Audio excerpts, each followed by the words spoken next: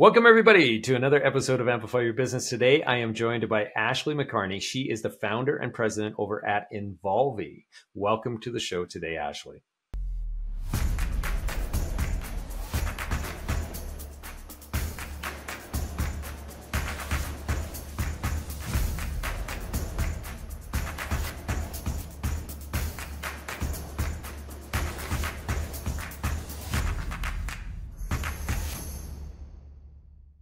Thank you for having me, Lance. It's a pleasure to be here. Okay, before we get into what you do over at Involvi, what you've created there, let's first understand from you and your experience being an entrepreneur what you think every entrepreneur needs to know. I'm just going to limit you to three. Perfect. Um, you know, I think number one is your time is quantifiable. So mm. if you are spending eight hours doing your bookkeeping and a professional bookkeeper could take, do it in 30 minutes, you know, save your time and focus on what you're really good at and, and ask for help. Um, next of all, I would say, you know, get used to the unexpected, be flexible, be nimble, um, and always look to innovate because I think if we don't innovate, we will get lost definitely in the dust. Um, and then last but not least, figure out your why as an entrepreneur. I think, you know, we get passionate about making widgets, helping people, creating marketing campaigns, right? Um, but if we as entrepreneurs don't know our why and what drives us to do what we do, um, then it's very hard for employees or clients to follow us and buy what we have to sell. So those three things I would say. Okay, well, hit us with your why then. What is it that uh, has motivated you to do what you do? You know, my career is steadfast in people operations and supporting people in different business um, businesses and industries. And you know, at the end of the day, I think that the employment relationship gets lost between KPIs and revenues and and all of mm-hmm. this growth that businesses want to have, which is a good thing. But we're still humans, and we still have to go to work every day and come home to our families and and realistically if if we can make those employment relationships more seamless and we can help leaders be better people leaders um, then you're not going to need the loopholes and the compliance and all of that even though it's still there. Um, so at the end of the day i just want to make work a better place. I just want to make relationships better and, and help people understand each other. Um, yeah yeah. yeah. But and speaking of all of that give us the the pitch. What is Involvi what problems are you trying to solve over at Involvi then yeah, so Involvi is an HR consulting firm and, and offering four major things. One is HR support. So we're a fractional and or um, um, the word has escaped me right now, but you know we're a fractional managed service for HR in three different levels, and we customize that for clients, mostly in the small and medium business space and and not for profits. Uh, okay. We also offer customized learning and development and training and two day workshops. Uh, we offer recruitment, but it's in our own way. So we're not a headhunter as you know them, but uh, it definitely does support our clients with bringing new humans onto their team. Um. And then we do one off projects, compensation reviews, investigations, foundation packages. Um, it's a variety of things. But at the end of the day, we know each business is different and uh, we customize what we do to fit the needs of that business um, because like you we're a cost function and and unlike you we don't see those returns as clearly in marketing or in hr as we do in marketing. Yeah. Um, so you know we want to create that roi and and not be a make work project for those clients.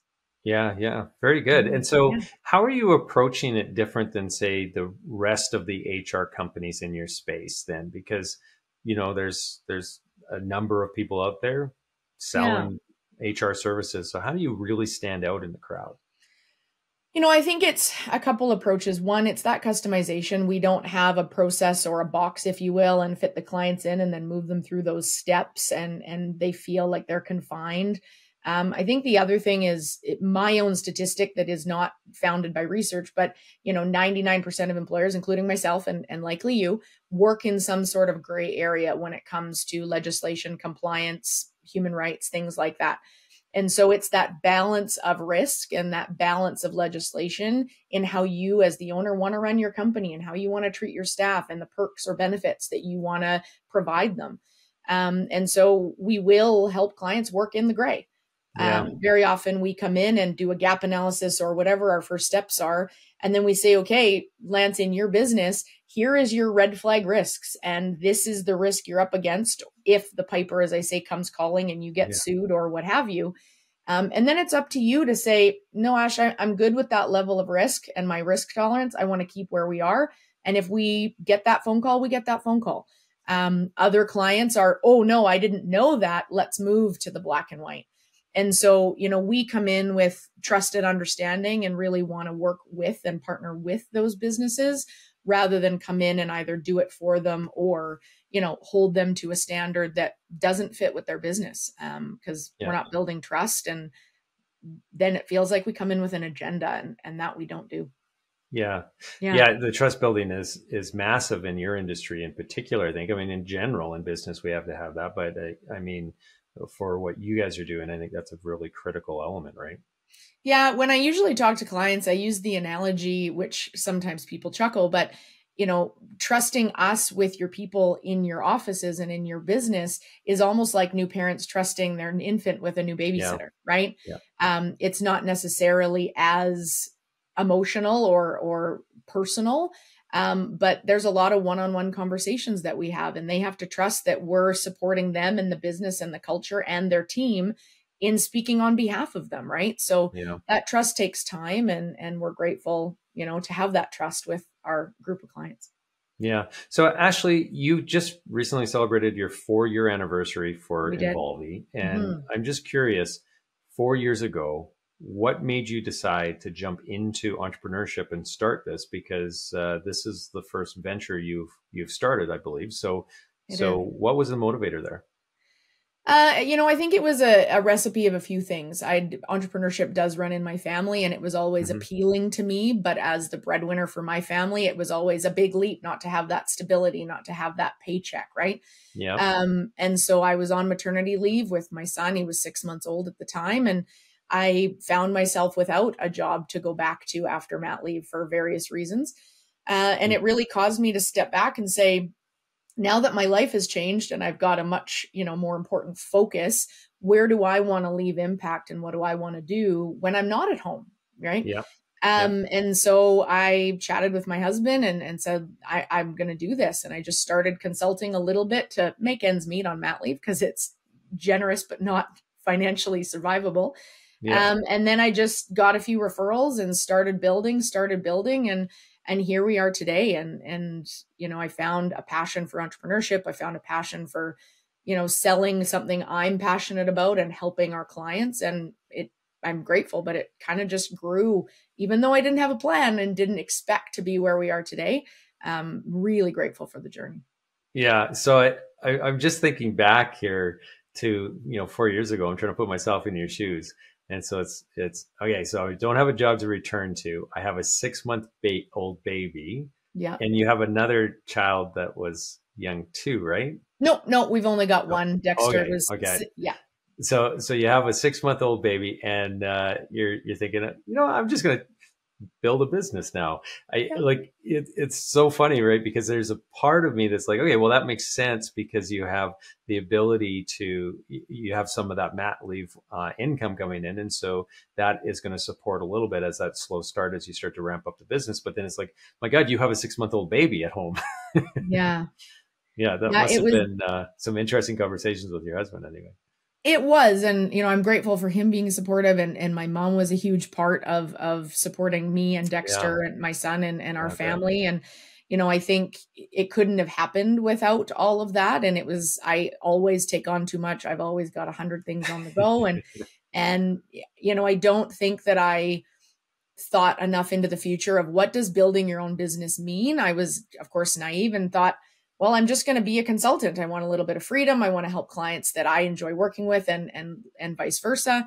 Um, but I didn't have a dream to have employees and to have office space and to be as large as we've become.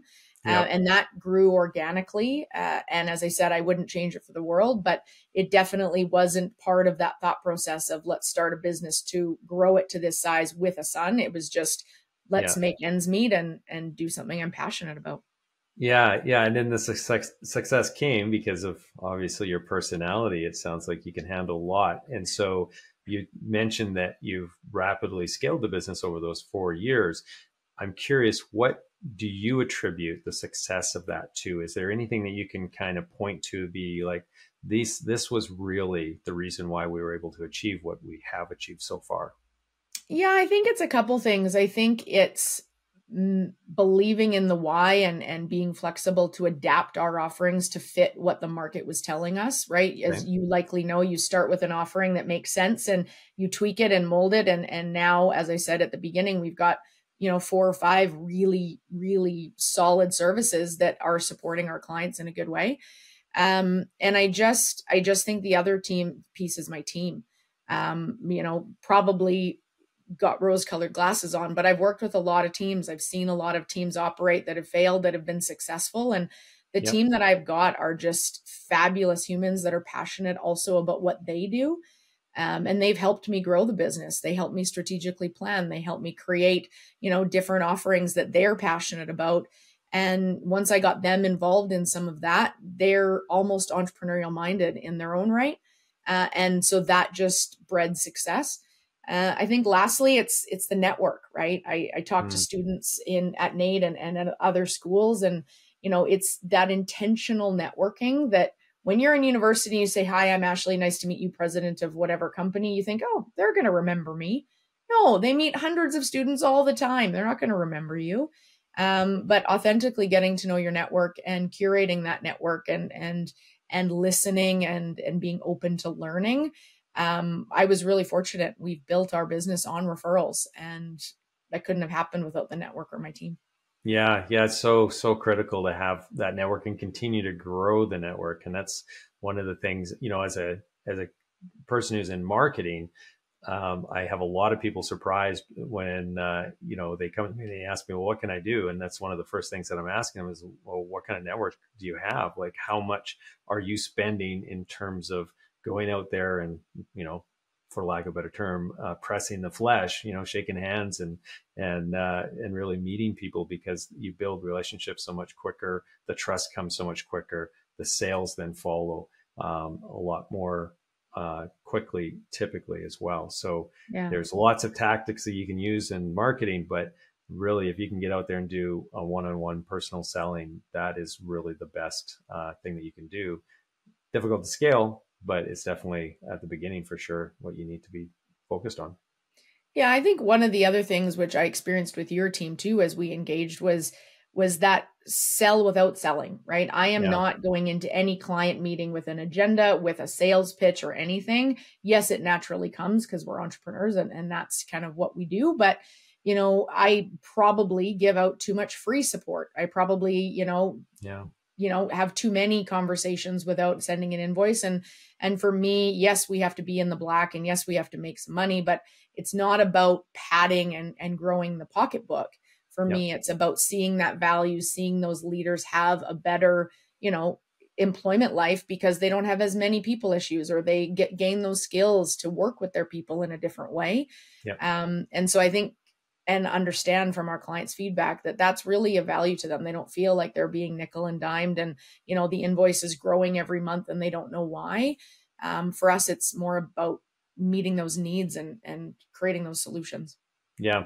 Well yeah. and that's the the beautiful thing about solutions based selling and when you have a company that's in the you know has a service that is a solution for uh, some very specific and and uh, important needs that your client base has it's it's really quite easy, right, uh, to talk about that why and really motivate people to to have that next conversation with you because it really is coming from a place of wanting to support and help and and uh, you know enable them to do the things that they're going to need to do to grow their businesses as well, right? So that's really good. I, I'm curious um, because you talked a little bit about the team, and so um, that is really the reason, one of the core reasons why you've experienced so much growth is you've, you've built a really great team. Now, being an HR professional uh, yourself, I mean, obviously you have tackled that with a whole bunch of uh, domain expertise that the average entrepreneur does not have. Mm-hmm. So I'm curious if you had like one or two pieces of advice in terms of how an entrepreneur can do that and do that really well so that they could also experience that same rapid growth and success and empowering that team to really fuel the business that you have experienced um, knowing what you know and how you applied it. Yeah that's that's a convoluted question. Um, yeah it's probably difficult to that, that that's a that's an eight hour masterclass i'd imagine it could right? be. yeah it could be. I'll work on that. Um i'm just trying to think back. You know I think number one, as I talked about your why, I think I derived the interview questions and or process when bringing on my team around that, um, and it was really evident who would get on board and who aligned with that, even if they had a few different values or a few different approaches. I don't want mini me's, um, but you know, empowering them for their individual thought and bringing that in and, and welcoming that. Um, some of the team has been very um, receptive and, and provided feedback on the opportunities that they're given underneath the Involvi brand to learn new things, to teach the team, to collaborate. You know, we have little work groups where I give a vision or the leadership team gives a vision and says, who wants to explore this a little bit more? And and then, you know, we work cross teams in these little work groups and champion those people to bring things forward. So I think outside of the day to day client support, which can be anything from transactional to strategic, they also get this entrepreneurial opportunity to build something within Involvi. Um, so I think that's one thing. Um, I've definitely leveraged some of our vendors um, for things like behavioral assessments or team building assessments. Um, so yep. that not only pre-hire, I know who's coming on, and I know that I have the skill set and capacity to train them and, and onboard them in a way that will work for them. Um, but I think it's also just the transparency that we have across the team and i there is while there is a formal hierarchy i don't believe there is right i'll call up an employee and talk to them and sometimes one of my managers will say yeah but you're the boss and you're the boss's boss and you know that doesn't even phase me sometimes and naively so it, it, because it is a reality um, but i really appreciate our flat hierarchy and the fact that we can just go have a glass of wine or we can just go yeah. have coffee and and talk yeah. and it feels more like a community than it does a hierarchy of of team. It is interesting what you talk about in terms of the hierarchy, right? Where um, so I don't perceive there being much of a hierarchy within the business, yeah. uh, like in our business, and yet I like uh, some of our our newer employees. Uh, we're at the size now where I just don't interact with them very often, and so there's this um, uh, not fear, but there's a um, an element of like they're not sure if they can reach out to me and uh, mm. or should reach out to me or anything like that and i've always been like no my door is always open i have, definitely have an open door policy and so you need anything at all i don't it doesn't matter who you are but it just never dawned on me that there would be people within the organization who are like yeah, I don't know. That's the boss up there, right? Like I, I, I can't really bother him. He's got too many other important things. And it's so weird when it gets to that size, when your business gets to that size, where where that is part of their re- kind of reality or perception, it's definitely still not part of mine. I just yeah. don't don't feel that way. That I'm like at the top of this this hierarchy of uh, of people. Yeah, it's weird. Well, and it becomes even more challenging because while you want that full circle and that open door, as you talked about, you also don't want to undermine the managers you've promoted yeah. that those people report to, right? Yeah. Um, and so I find myself talking to my managers more because if their team comes to me for a discussion or I call them, I now call the manager and say, "Hey, just had a conversation with so and so. Here's the update so that you're in the loop and and don't find out later on." Totally. Um, but yeah. I, I do have a story about that because I saw a great example of how to mitigate that in a larger organization okay. where the CEO has no power in the organization for financial decisions, termination decisions, employment decisions, anything. He's very transparently given it to the COO and the CFO. And yeah. so he has lunch with every employee on a constant rotation on a regular cadence but it is truly just lunch and get to know you because the team knows and believes and trusts that he can't fire them he can't give them a raise he can't performance manage them or anything else he's just getting to know them um, and i think you know i'm sure there's things that don't work but at a high level that creates that really good feedback loop um, to the yep. highest level of the company and when yep. that person is out selling and doing what you and i do they're also now in touch with the front lines. Um, and it, yeah. it's worked out pretty well in that organization.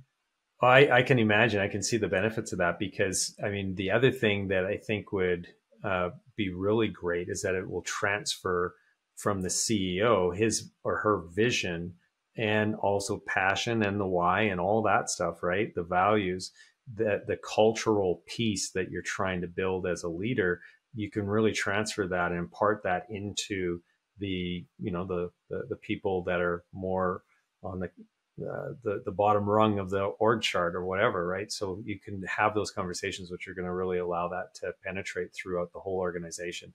And I think that is one of the things that I've noticed as you start to build in some of those layers of uh, in the hierarchy is just that, yeah, sometimes I'm not sure if everybody really fully understands the why or the values and so on. And so that's that internal communication piece, internally marketing, I guess, all that but uh, one of the best ways to do that would be, yeah, having some lunches. Yeah, that's great. I like it. Yeah, yeah, and you know, as startups and and new entrepreneurs, you likely don't have a formulated vision, mission, values, right? You have your why, yeah. you have what you do, right. um, and we didn't create ours other than you know coin terms that I would use when talking to clients. We didn't create ours till almost year two and a half.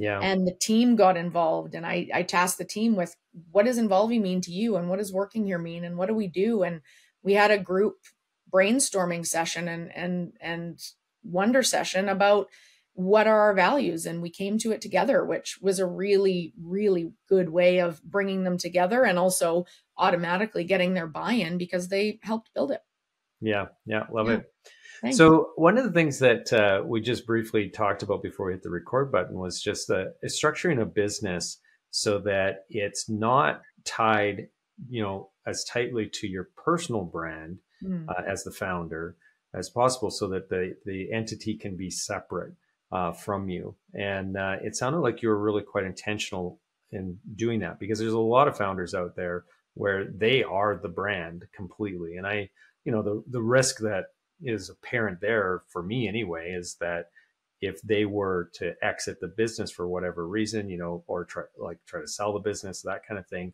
um, the value then is oftentimes tied to the individual, the yeah. founder, as opposed to the company. And so you're never going to get the, the the value out of that business. And so um, that that would be the biggest reason I can see to to really try to keep that separate and that was one of my thoughts when I first started Ample Media. But I want to hear your thoughts about it because we didn't really have a chance to talk too much about that. Yeah, and and you're right. I think it was very intentional, and and I got some feedback again probably a year and a half two years into the business when i was growing and we were recruiting and, and i looked at different ways to grow the business and acquire new clients and I had brainstormed, oh, well, what if we acted kind of like a legal firm where everybody that comes on is responsible to help fill their own book, right? And yep. there's lots of reasons why and why not. But at the end of the day, the feedback I got was, Ashley, you are the brand. You are the services and the why, and you know HR and you know the supports you can give, and you know enough about operations that you are that glue to connect the clients to the services. And that was a big wake up call for me. And so it wasn't uh, wake up one morning and it all changes, but we worked with our social media team and now, you know, you guys for our website and things and really started to create a personality with it and create a brand with it um, and and detach it a little bit from me and also trained and developed the team to say i empower you to alter that service or to adapt it if you need to um, to fit that client and I think it was a slow evolution that, yes, I'm still tied to the brand. I'm still the face of it and the president. Um, but I truly believe that as my managers take on more and the team takes on more, um, and people start recognizing us as an HR and people operations support company, you know, Ashley will be less and less at the forefront and it will be more our brand and and the services we provide. Um, and and that's the goal right? I have no intention of leaving Involvi or or any of that in the near future yeah. but you know i think as an entrepreneur you'd be short-sighted not to have that thought process um, and consider the options as you grow and as you develop yeah. yeah it's it's really interesting because like uh, 12 years ago when i started ample media i started it kind of on the side of my desk because i had another business at the time uh, that i was running and so uh, it wasn't meant to necessarily be. It was more like a project more than anything, and then it kind of turned into a business. Yeah. And so, uh, I and I am not the person who's on the tools, so to speak. Um, so I'm not the at the those early days. um, we were just doing animated video explainers and stuff like that. So very much video focused. And so I didn't know how to do those things. That wasn't me. I could write the scripts and I knew the strategy and I knew how to sell, uh, but I didn't have the skill set. And so I didn't come from it as the, you know, practitioner who becomes then the founder of, of a business. And so um, it was really easy for me to kind of keep myself separated in, yeah. in a lot of sense from it. And then I really thought, you know, in terms of like scalability, I wanted to scale beyond just me. I wanted it to be a firm that I could then sell or a spin off or whatever the case might be at some point in the future. And so I was really quite intentional about the way that I did that. And, um, and so I don't run into too many other entrepreneurs who think that way or like when they were starting their businesses anyway. So it's really interesting to find another person. Yeah, it was it was tough because I had a little bit of a different start from you, whereas I was the HR practitioner. I, yeah. I handled the first few clients. I brought on a consultant to kind of take some overflow and and then we really started growing. And, you know, I got to a point where I was managing 10 employees, 10 clients myself, plus account managing all of my employees' clients, yeah. as well as running the business, right? And I don't think I slept. I think I got nope. lots of gray hair. I my husband probably considered, oh, is this for me? Right? Like there was a lot yeah. of implications. Yeah. Um, and the biggest probably first hurdle that I had to go through as the business changed and evolved was getting my clients off of my plate onto yeah. my team and then really starting to elevate myself and develop the team. And I've talked to so many entrepreneurs since I've done that that are embarking on that and have no idea how to do it. Yeah. Uh, and that's it's a big change, but there are ways to do it and there are ways to to do it successful,ly Um, but just and, yeah. Well, speaking of that though, I, I would like to hear your thoughts on that a bit because I know that that was actually a, a difficult time where um, in in other businesses I've had where w- that transition is occurring where you're stepping back and trying to let a team member now take the the you know the role of servicing that customer and the customer has the relationship with you as the practitioner. And and so it's so difficult to actually do that transition at times because they they they work around that new person that new account manager whoever uh, whatever the title is um, oftentimes because they're just so used to calling you up, right? And you yeah. just can't scale that way. So, what is the secret there? What are the best practices in your mind in uh, in doing that transition with your clients? So those who are listening maybe um, can can replicate your success there.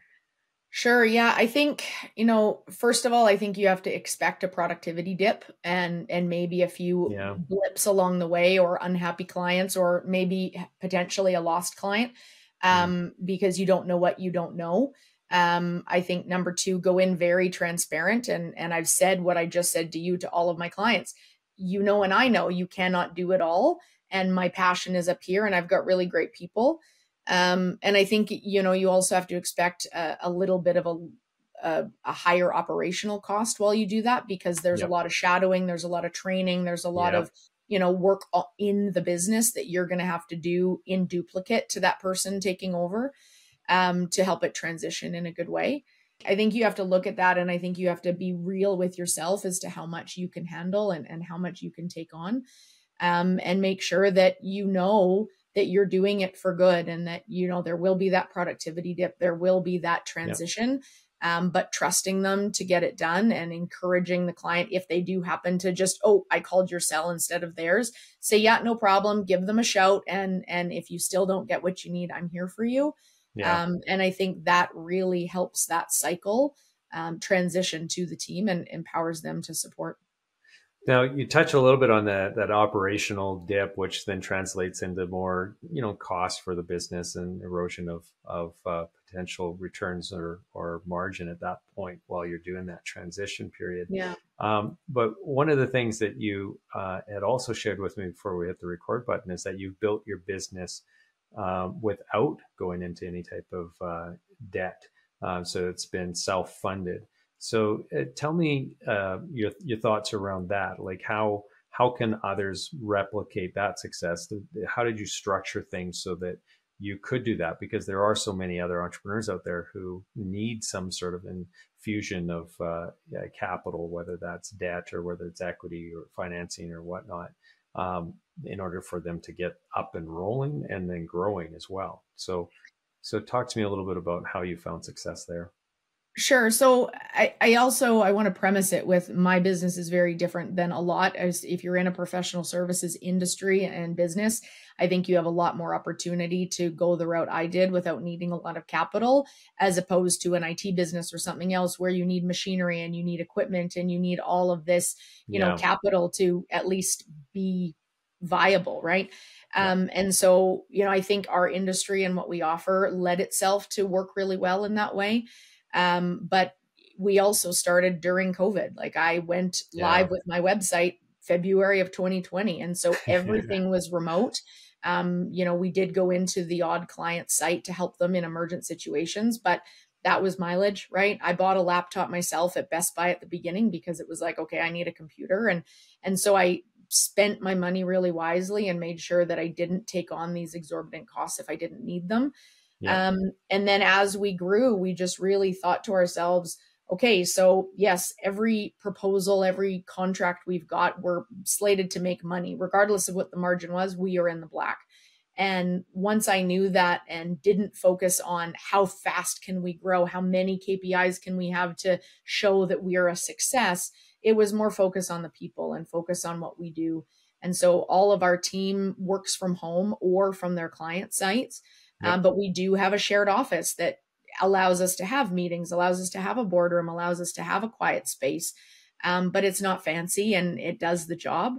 Uh, and so I would rather put the money that we earn back into our team, back into new services, and back into growing the company um, instead of padding our pockets or instead of doing other things. So um, we haven't looked at mergers, we haven't looked at acquisitions, we haven't looked at major new projects or lines of service, which likely will take some capital if we go there.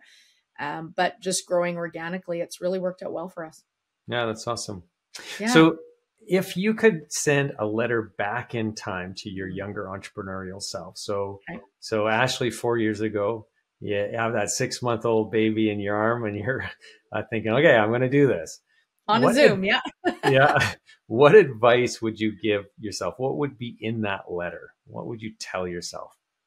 Uh, I'd probably say a few things. Uh, one, um, it's not for the faint of heart being an entrepreneur. I have never worked harder than I have in the last four and a half years. So if you're story, getting into right? it because of flexibility and status and being the boss and working remotely, um, very few people are TikTok stars. So I wouldn't, you know, hedge your bets on on doing it easily. Um, I would also say don't let yourself stand in your way. Um, ah. oftentimes we are our biggest critic and it's, I can't do that. I have imposter syndrome. I, nobody's going to want to buy what I sell. Um, and that's not the case because if you believe in yourself, then other people will. And, and that's proven in, in my world.